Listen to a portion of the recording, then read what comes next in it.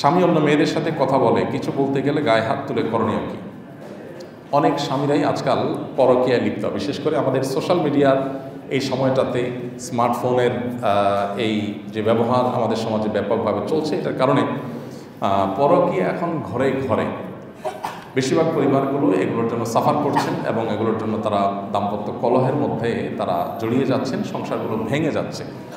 তো কোনো স্বামী যদি এই জাতীয় কোনো অন্যায় লিপ্ত হন স্ত্রী তাকে যদি সুকৌশলে বুঝিয়ে, সমঝিয়ে তাকে ভুল পথ থেকে ফিরিয়ে আনতে পারেন, সেটা ভালো। আর যদি না পারেন, তাহলে সেক্ষেত্রে স্ত্রী অহেতুক নিজের প্রতি নিজে জোলম, নির্যাতন, চাপিয়ে আনা, সংসার শেষ করে ফেলা, এটা করতে শরীয়ত তাকে বাধ্য করে নেই। যদি স্বামীর নেচার পরিবর্তন না হয় এবং খারাপ মানুষ তার পরিবর্তন হওয়ার সম্ভাবনা না থাকে, তাহলে আপনার সুযোগ থাকলে আপনি বিকল্প চিন্তা করবেন। ডিভোর্স নেওয়ার বা অন্যত্র সংসার করার। যদি সেটার সুযোগ না থাকে, সেটা আপনার জন্য চ্যালেঞ্জিং হয়, তো মনে রাখবেন, স্বামীর কোনো অন্যায়ের দায় স্ত্রীর উপর বর্তাবে না। স্ত্রী যতদিন পর্যন্ত সেটার প্রতি কোনো সমর্থন রাখবেন না। অতএব এই বিষয়গুলোতে আসলে এই প্রশ্নোত্তরের সেশন নয়, বরং এগুলোর জন্য কাউন্সিলিং দরকার, দীর্ঘ আলোচনা দরকার এবং পুরো অবস্থাটা জানা দরকার। তারপর পরামর্শ করে একাধিক ব্যক্তির সাথে, বিচক্ষণ ব্যক্তির সাথে পরামর্শ করে ডিসিশন নিলে সেটা অনেক বেশি ওয়াইজ হয়, সঠিক হয়। সেলফি এখন মহামারীর আকার ধারণ করেছে। এটাকে অনেকে মানসিক রোগও বলছেন। অথচ আপনারা নিজেরাও বিভিন্ন সময় সেলফি অ্যালাউ করছেন। এ বিষয়ে কিছু বলবেন?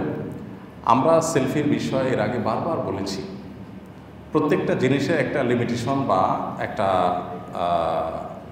প্রত্যেকটা জিনিসের একটা সীমা জ্ঞান, মাত্রা জ্ঞান থাকা দরকার। সেলফি যারা তোলেন, বিশেষ করে কিছু লোক আছে যে সেলফি তোলাটা এটা তাদের একটা রোগেই পরিণত হয়েছে, সত্যিই রোগে পরিণত হয়েছে। সব কিছুর সাথে সেলফি, পারলে মৃত লাশের সাথেও সেলফি তোলার প্রবণতা। হ্যাঁ? অসুস্থ রোগীর সাথেও যায় সেলফি তোলার প্রবণতা।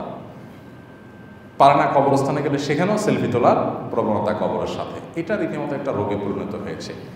আমাদের সাথে কেউ সেলফি তুলতে আসলে আমি ব্যক্তিগতভাবে আমার কথা বলি, আমি খুবই মনকষ্ট নিয়ে সেলফি তুলি। না তুললে অনেক সময় ভুলবে, ভুল বুঝবে, রাগ করবে, ইসলামের দিকে আসতে গিয়ে আরও দূরে সরবে। এসব কারণে নিরুপায় হলে কখনো হয়তো আমরা সেলফি তোলার সুযোগ দিই কাউকে। কিন্তু বেশিরভাগ ক্ষেত্রে আমরা চেষ্টা করি বিরত রাখার, মুখে বলার। খুব বেশি হয়তো হার্ড লাইনে যাই না, এতটুকু। বাকি ওলামা একরামের সাথে সাক্ষাৎ হলে, পরিচিত আলেমদের সাথে সাক্ষাৎ হলে আমাদের উচিত হলো তাদের দোয়া নেওয়া, সেলফি না। সেলফি নেওয়াটা এটা আমাদের তাকওয়ার পরিপন্থী কাজ সাধারণত। সাধারণত তাকওয়া পরিপন্থী কাজ। কারণ সেলফি তোলা হয় সাধারণত কী জন্য? ফেসবুকে একটা পোস্ট করব, তখন মানুষ বলবে, ওয়াও, তুমি কোথায় পাইছো ওনারে? মার্শাল্লাহ মারহাবা লাইক দিয়ে কমেন্ট করবে। এটা আমার একটা ধান্দা। এটা আমার আত্মপ্রচারণা। এটা কোনো তাকওয়াবান মানুষের কাজ না। আল্লাহর কিছু বান্দা আছে মাসাল্লাহ যারা এগুলো চায় না। তারা এসে দোয়া চায়, নসিহত চায়। আপনি একটা কাগজ আগায় দেন, একটা বই আগায় দেন যে, ভাই, কিছু নসিহত লিখে দেন। একটা ওসিয়ত লিখে দেন, একটা অটোগ্রাফ কিছু লিখে একটা অটোগ্রাফ দিয়ে দেন, যেটা আমার স্মরণ হবে, যেটা আমার জীবনে প্রেরণার কাজ দিবে। সে করে, সেটা করেন, সেটা না করে আমরা সেলফি রোগে আক্রান্ত। এই জন্য অনুগ্রহ করে এইটা থেকে আমরা বেরিয়ে আসার চেষ্টা করি। আমরা যাদেরকে অ্যালাউ করি, আমরা কিছু কিছু ক্ষেত্রে মনে হয় যে কিছু ভাইরা দিনের দিকে নতুন আগাইছেন, এর মাধ্যমে তারা যদি আরেকটু আগাইতে পারেন, সেজন্য হয়তো আমরা অ্যালাউ করি।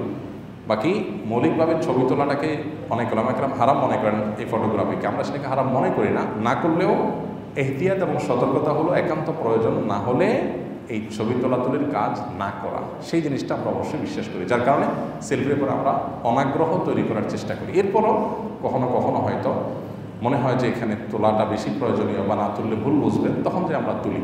তবে আপনাদেরকে আমরা অনুরোধ করব আপনাদের মাধ্যমে যাতে করে ওলামা ইকরামকে দেখে এই সেলফি না তুলে চেষ্টা করি যেন আমরা যথাসম্ভব ওলামাদের কাছ থেকে দোয়া নেওয়া, নসিহত নেওয়া, তাদের কাছ থেকে গাইডলাইন নেওয়া, এই জিনিসগুলো আমরা চেষ্টা করব ইনশাআল্লাহ।